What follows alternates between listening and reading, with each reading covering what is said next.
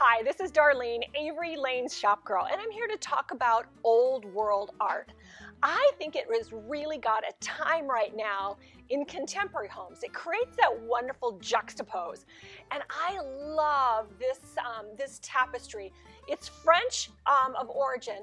I don't know much about it, but I love the deer and this beautiful deer and then you can't really see them but there's some wonderful lions down here and this is really a great piece in a contemporary home it just creates a little bit more warmth and takes the coldness out of some contemporary homes one of the things that I love about old world art is that it tells a story and puts you back into a place in history.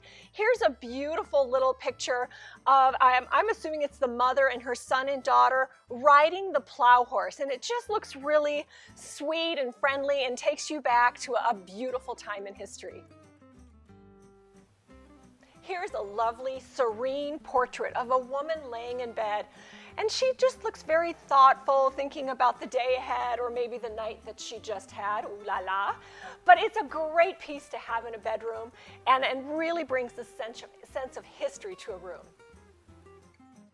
I absolutely love these beautiful still lifes. I think they would look perfect in a kitchen. And still life is one of those old art forms. And actually, when you're an artist, it's one of the first things that you learn to paint.